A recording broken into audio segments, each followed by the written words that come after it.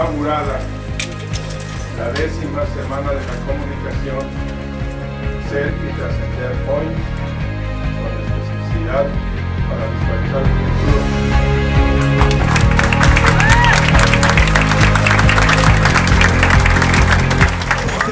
Este se abre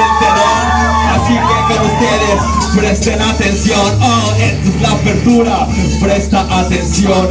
Este es el comienzo, viva comunicación. Muchas gracias.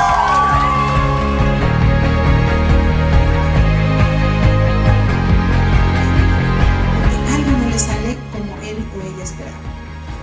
Entonces, la inteligencia emocional significa gestionar estas emociones, saberlas manipular.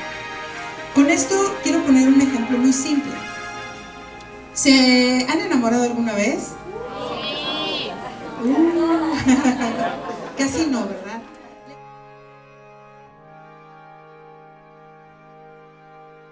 Analizando el futuro, el día de hoy nos acompañó la licenciada Irene Rocha. ¿Cómo está, licenciada? Bienvenida. Muy bien, muy contenta de estar con ustedes y con cada uno de los estudiantes. Gracias por invitación.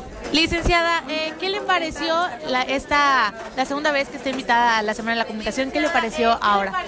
Bueno, yo creo que algo que me sorprende es la capacidad de los jóvenes de participar, de aprender más, de conocer y sobre todo un tema como la inteligencia emocional, que es algo que todos los seres humanos necesitamos y el profesionalismo de cada uno de ellos. Me impresionó.